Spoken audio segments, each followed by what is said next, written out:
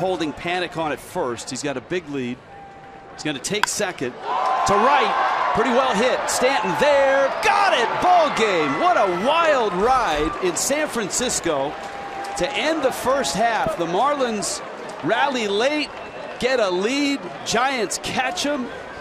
Extra innings. Ellis's dramatic homer. Stanton hits his second.